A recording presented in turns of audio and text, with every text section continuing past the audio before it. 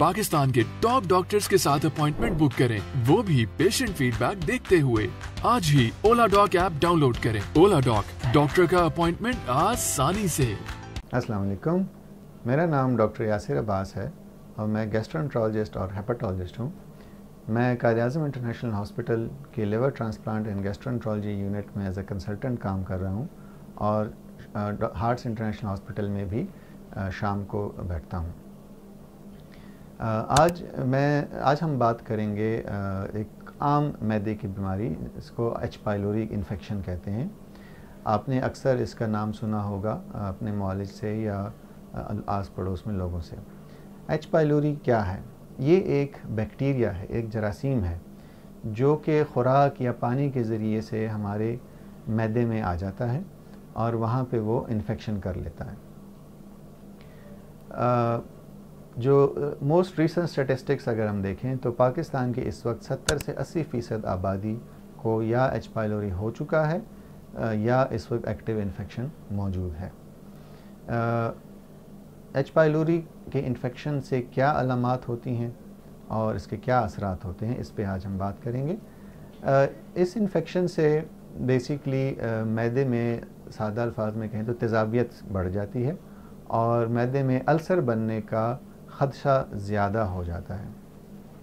तेज़ाबियत की जो अलामत हैं, जैसे कि मैदे में दर्द होना, मैदा फूलना, सीने में जलन होना, मुँह में कड़वा पानी आना, ये सारे इसके साथ भी होती हैं।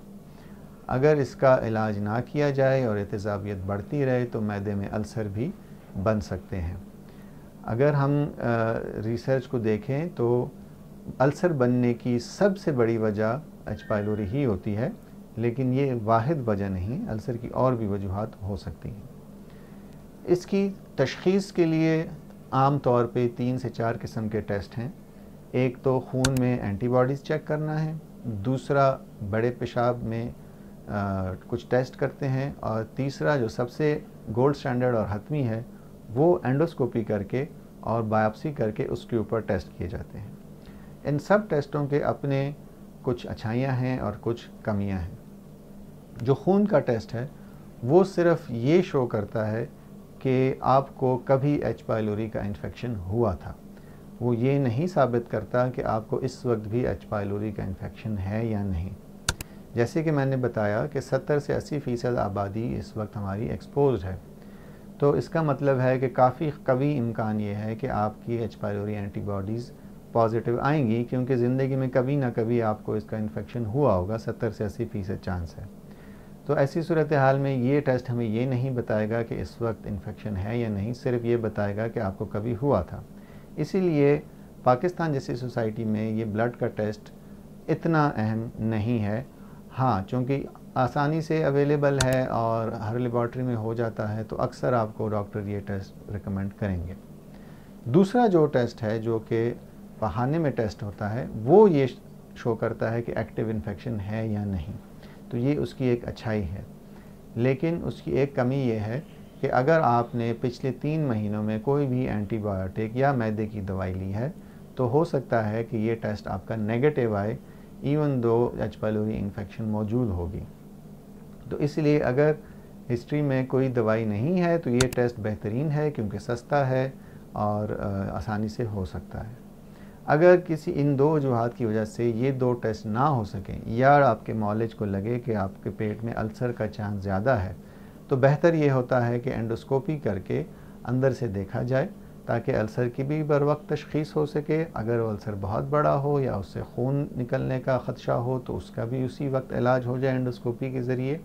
और साथ ही साथ बायोप्सीज़ लेके ये भी कंफर्म कर लिया जाए कि इसमें एच पाइलोरी है या नहीं। एच पाइलोरी का इलाज करना इसलिए भी ज़रूरी है कि एक तो अल्सर का और तेज़ाबियत का मसला हो गया। दूसरा, अगर ये साल साल साल तक रहे अंदर और इसका इलाज ना हो तो मैदे के कैंसर का रिस्क भी बढ़ जाता है। जब एच पाइलोरी की तशखीस हो गई, कंफर्म हो गया तो फिर इसका इलाज।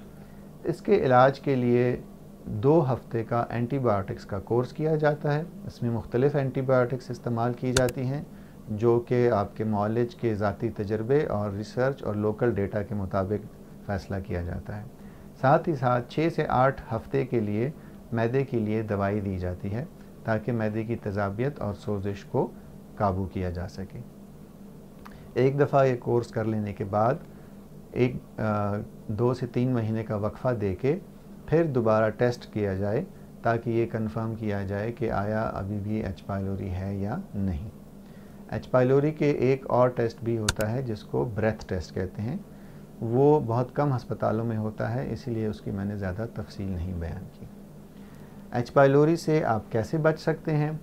जैसे किसी भी, ऐसी बीमारी जो कि आपको आबो हवा से होती है, जिससे उससे बचाव के तरीके हैं, वही इसके हैं।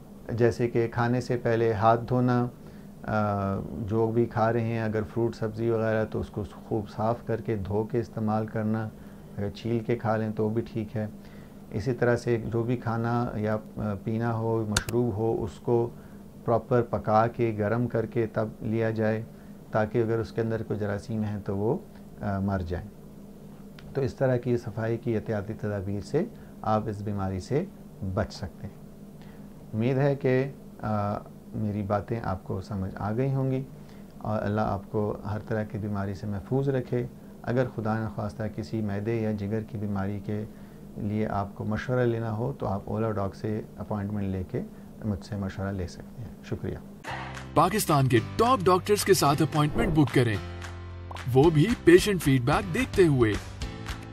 लाखों लोगों की तरह पाकिस्तान के सबसे बड़े डॉक्टर नेटवर्क का फ़ायदा उठाएँ। और आज ही ओला डॉक ऐप डाउनलोड करें। ओला डॉक डॉक्टर का अपॉइंटमेंट आसानी से।